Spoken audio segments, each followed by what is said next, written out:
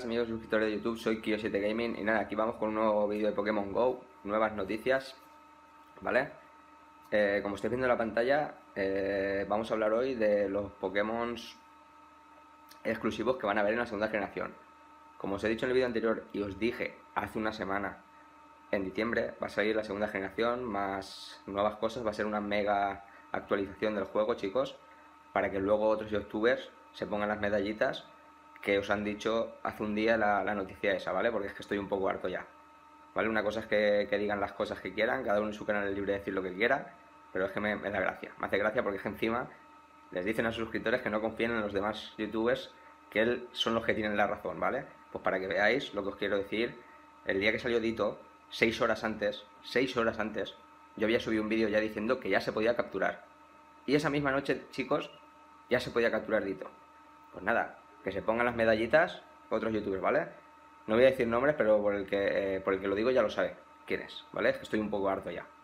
Bueno, eh, punto y aparte. Vamos con la noticia, como estáis viendo en la pantalla, Pokémon GO, la segunda, estos serán los Pokémon regionales de la segunda generación, ¿vale? Como estáis viendo en la pantalla y me repito, estos son los de la primera generación, ¿vale? Pero viene aislado la, la, la noticia, ¿vale? Aunque podemos coger todos los Pokémon, los 151 Pokémon originales de Pokémon GO, eh, los exclusivos, o sea, excluyendo los legendarios, Mew, Mewtwo, que no se pueden coger aún, no los ha activado ni Antic. Eh, hay cuatro Pokémon regionales en la primera generación, ¿vale? Que son Farfetch para Asia, Kangaskhan para Australia, Mr. Main para Europa, Tauros para América del Norte, ¿vale? Todo esto ya lo sabemos, ¿vale? Pero vamos con la segunda parte de la noticia, que es lo que nos importa, ¿vale? Como estáis viendo aquí, estos serán, los eh, Pokémon exclusivos de Pokémon GO de la segunda generación. ¿Vale? Tendremos a Smeargle para Europa. ¿Vale? Tendremos a Mitank para América del Norte. ¿Vale? Aquí van a haber más de cuatro. Tendremos a Dunsparce para Australia. A Kiwifs para Asia. Girafarig para África Elivair para Antártida y Heracross para América del Sur, ¿vale? Y ahora nos explican por qué son estos Pokémon, ¿vale? Smeargle será Europa porque tiene una boina, ¿vale? Solo por eso lo van a poner en, Europa, porque tiene una boina en la cabeza. Mitank de Estados Unidos. Duspers, Dusparce o como queráis llamarlo, de Australia, ya que tiene todo tipo de animales extraños ese continente.